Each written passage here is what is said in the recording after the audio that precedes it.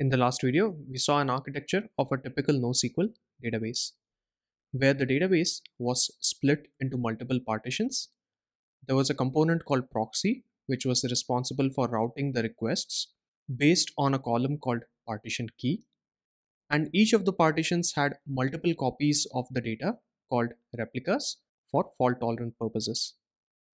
Now let's try to understand CAP theorem in the context of this architecture. Before we jump into that, we need to understand where these replicas are actually located because that will have major implications on the theorem itself. Now let's say this box represents a server where a replica resides, which means it stores the data of one replica and it processes the reads and writes for that particular replica. This server typically resides in a metal container or a metal housing called a rack this rack has multiple servers and it also has a switch at the top. This network switch helps these servers talk to each other within a single rack. A data center can have hundreds of such racks where each rack has its own switch, but it also has multiple network switches at a central level so that a server within a single rack can talk to a server in a different rack. This is an image of a Google data center where you can see the rows of racks and the switches at the top of each rack. A single data center is called an availability zone and, and at least three such availability zones combine to make up a region. And each cloud provider will have a map like this, which will show you all the regions available for that cloud provider. Now let's apply that knowledge of replica location to the concept of network partition. Let's say all three replicas in a partition is stored in a single rack. In this case, if the network switch of the rack goes down, then all three replicas will not be reachable from outside and also replicas R1, R2, R3 will not be able to talk to each other. If the replicas are stored across multiple racks but within the same data center, then again, if a single switch goes down, then that particular replica will not be reachable if the replicas are stored in different data centers, in this example, we have three availability zones, which means three data centers. Let's say R1 is in data center 1, R2 in data center 2, and R3 in data center 3. Again, if the central switch of the data center goes down for some reason, then the first replica will not be reachable by the other replicas or by the external requests. If you store the replicas across regions, where in this case R1 replica is stored in region 1 and R2 and R3 replicas are stored in region 2. And if there is a problem in the communication between two regions, then again, these replicas can become unavailable. So network partition in a technical sense means because the network is down, we are unable to communicate between two separate nodes. But in the context of CAP theorem, network partition is a bit misleading. There are multiple other reasons because of which two nodes may not be able to communicate with each other. So instead of network partition, when you think about CAP theorem, think from a availability of the node itself to process your requests. Now let's understand what is consistency. Now since each partition has three copies of data, which we are calling replicas, Consistency should ideally mean all three of them have the same copy of data. But again, that is a little bit misleading. A better way to think about consistency is from a client point of view.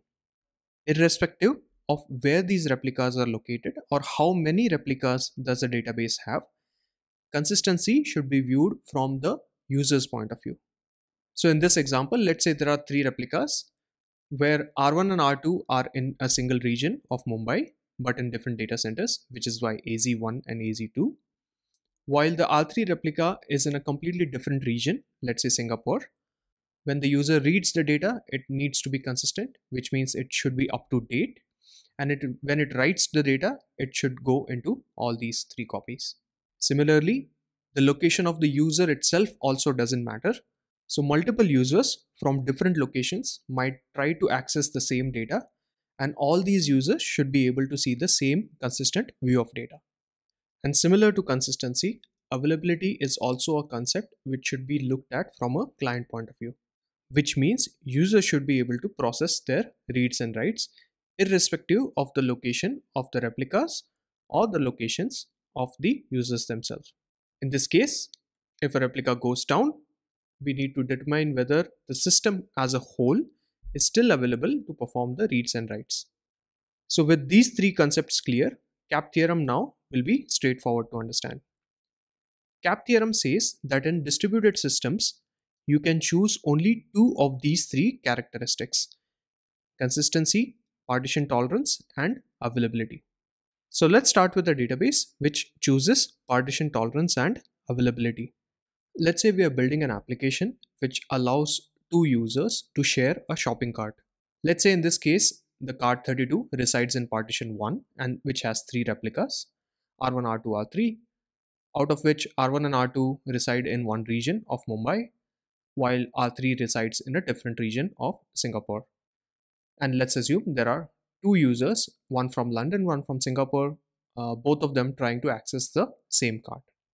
Let's say there is a network partition between the Mumbai and the Singapore regions where the Singapore region replica is not available. In this case, if there is a write attempted by the London user to add an item of Apple in the shopping cart, the replicas R1 and R2 will get updated, while the replica R3 in Singapore will still have the older item. Even though this replica was not updated, still the proxy will return a successful write to the user. Similarly, if a Singapore user wants to add orange as an item to the shopping cart, they will issue and write. And since the network partition still exists, this proxy will not be able to connect to the Mumbai region.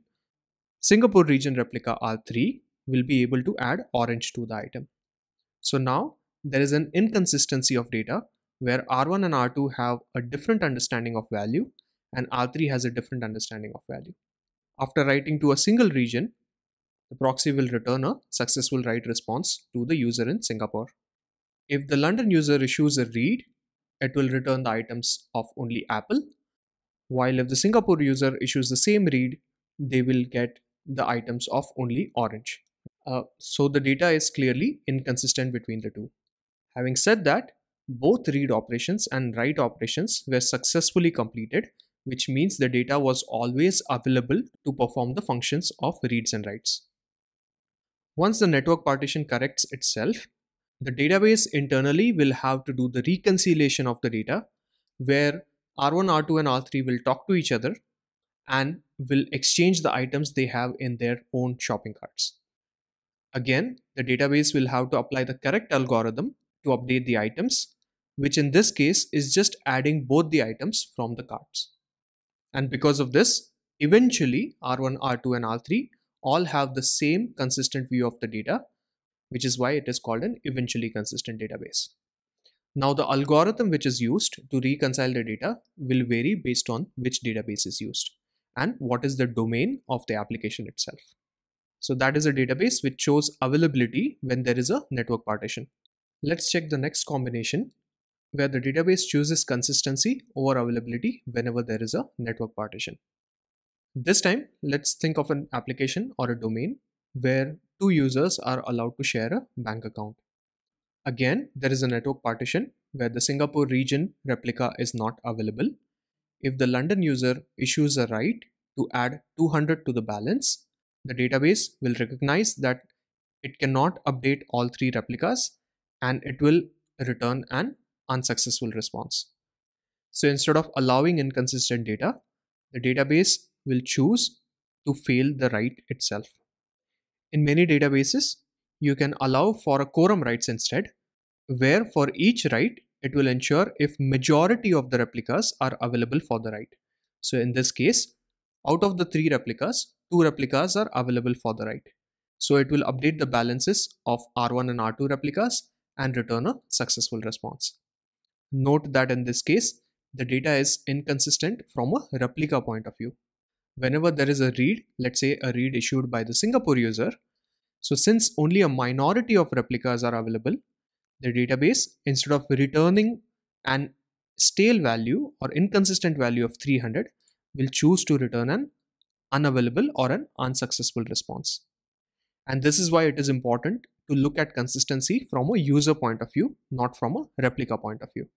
Which means the user, irrespective of their location, will either see consistent data or the read itself will fail.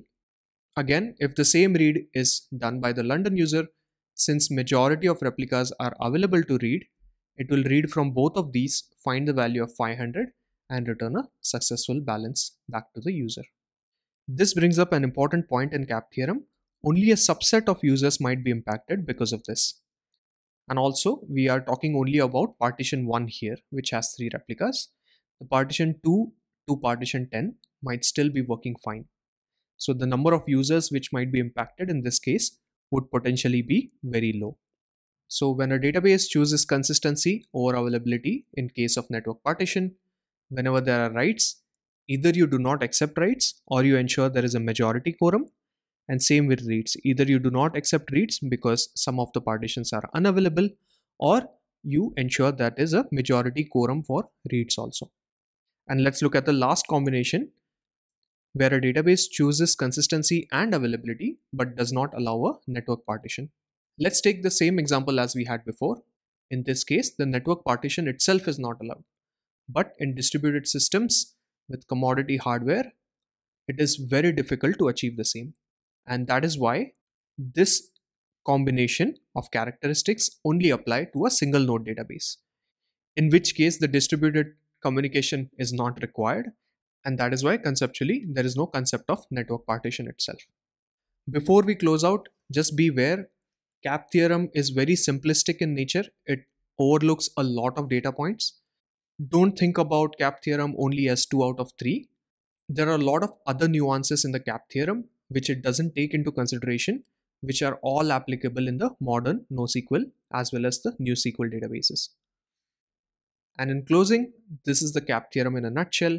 Pause the video, read this. If you understand this, then you've understood the full CAP theorem.